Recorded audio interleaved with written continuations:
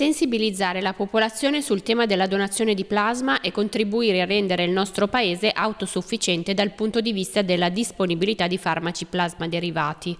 Sono questi gli obiettivi principali dell'incontro Il Molise che dona, che si è tenuto a Campobasso ed è stato organizzato in collaborazione con l'accordo interregionale Planet e con il supporto di Takeda. In questa occasione abbiamo avuto il piacere di parlare con la dottoressa Matilde Caruso, direttrice dell'unità operativa complessa di medicina trasfusionale ASREM SRC Molise.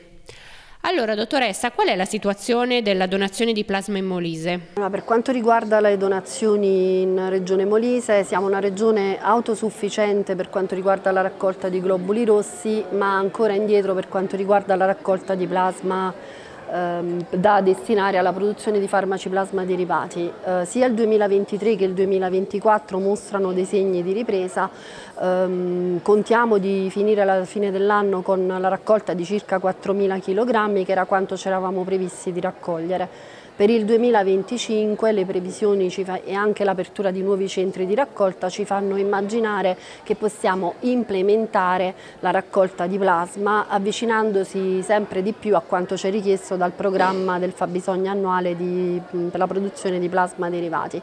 Tocca a noi sensibilizzare i donatori già così presenti per la donazione di sangue intero eh, verso la di, di, verso la donazione del plasma. Qual è il destino del plasma e che cosa serve? Il plasma che raccogliamo e che spediamo segue un doppio binario, da una parte per la maggior parte è destinato alla lavorazione per la produzione di farmaci plasma derivati come i due prodotti principali driver, cioè l'albumina e le immunoglobuline Un'altra parte di plasma che noi denominiamo plasma da inattivazione virale eh, viene lavorato e ehm, ci viene restituito il cosiddetto plasma grade, quindi un plasma ehm, ad alta purificazione e sicurezza che noi diamo ai pazienti in caso per esempio di importanti emorragie, ustioni o in caso di una terapia particolare che si chiama ehm, appunto aferesi terapeutica. Quindi segue un doppio campione, la necessità fondamentale in termini di fabbisogno regionale e nazionale e quello di garantire la produzione di plasma derivati. Il Molise per esempio ha un'autonomia allo stato attuale di plasma, quindi non di farmaci plasma derivati, di circa 4 anni e mezzo, quindi sotto quel fronte siamo più tranquilli.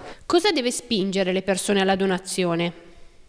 Mm, per tanto tempo abbiamo pensato la sensibilità e la volontà di donare e adesso stiamo lavorando anche su un altro aspetto un po' più pragmatico che è quello di far comprendere che quello che non diamo oggi in termini di plasma ci mancherà domani se noi o chiunque di noi può averne bisogno.